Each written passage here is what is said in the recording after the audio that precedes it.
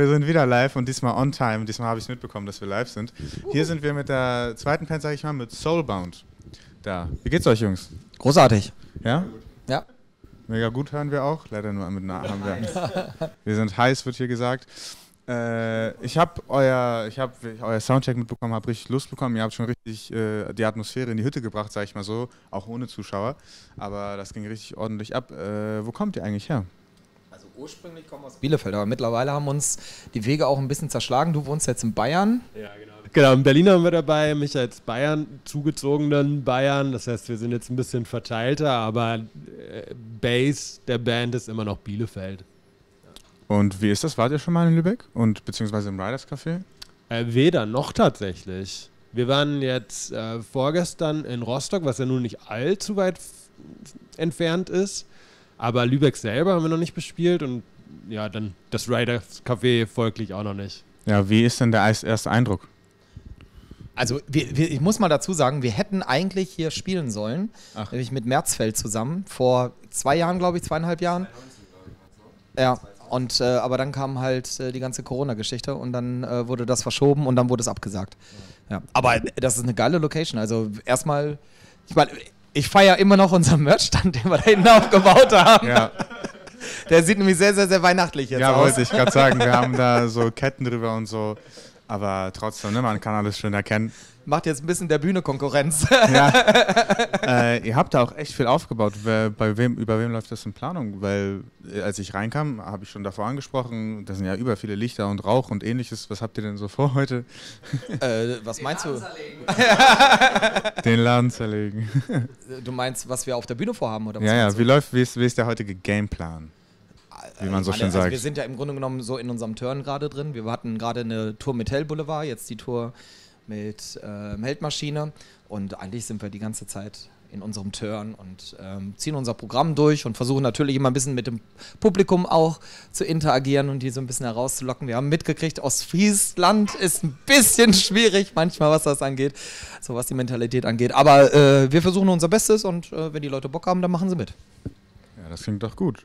Äh, ihr macht hauptsächlich Tracks auf Englisch, ne? Nur auf Englisch, ja. Ein, es gibt einen Song, den Du ich bist informiert, das gibt's ja nicht. ja, natürlich, muss ich ja, ist ja mein Job. Ja, genau, es gibt einen deutschen Song. Ja. Äh, wie kommt's? Also es gibt, ähm, also wir kommen nochmal hierhin mit Harpje zusammen und dieser Track ist nämlich eigentlich ursprünglich von Harpje und wir kennen uns schon seit über zehn Jahren. Also Andy ist einer meiner besten Freunde, also der Sänger. Und ähm, wir machen immer wieder so Kooperationen. Die haben auch mal einen Track von uns gecovert. Wir haben mittlerweile auch schon ein paar Tracks von denen gecovert. So, wir sind in den Musikvideos öfter mal zu sehen. Unser Patrick, der nicht da ist, der die Sintis macht, der in Berlin wohnt, der macht die Musikvideos von Harpje. Und somit kam es dann auch zu diesem Song. Und da dachten wir, weil wir das öfter noch mal gehört haben, dass wir doch mal das Ganze auf Deutsch versuchen sollten, was wir machen, dass wir das einfach mal auch versuchen auf Deutsch. Und haben das versucht und haben es wieder sein gelassen. Echt? Also ich wollte noch fragen, wie viel hat sich das angefühlt und äh, warum ist das eher nicht so euer Ding? Was ist so, was ist so ansprechend an dem Englischen für euch? Also das ist so witzig, dass das jetzt zur Sprache kommt, weil wir hatten nämlich gestern auch so eine Publikumsrückmeldung, wo jemand ankam und zu uns meinte, Macht das doch mal.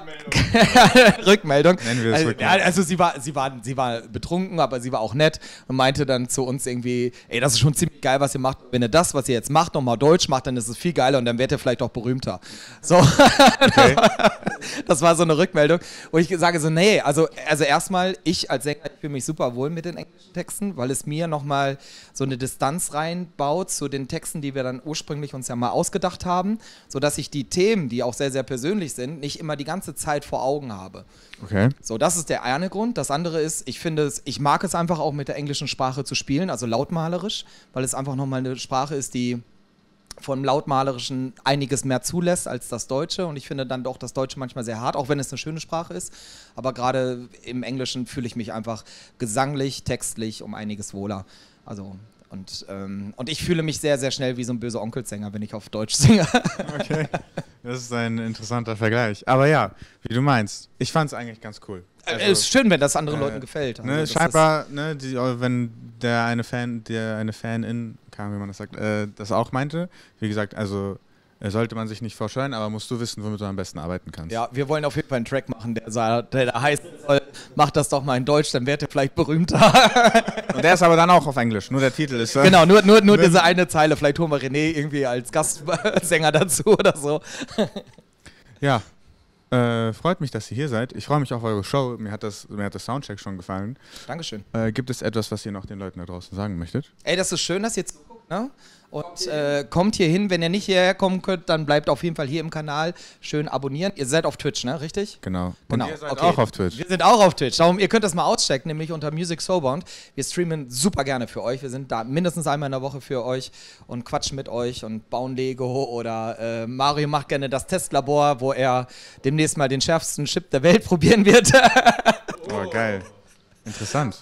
Ja und äh, unterstützt hier dieses, äh, diese schöne Location, denn das ist wirklich ein geiler Ort. Okay, wunderbar. Komm vorbei, um 19 Uhr ist Einlass und wir freuen uns auf euch. Folge dem Riders Café auf Twitch, Instagram und allen weiteren Social Media Kanälen, um nichts mehr zu verpassen.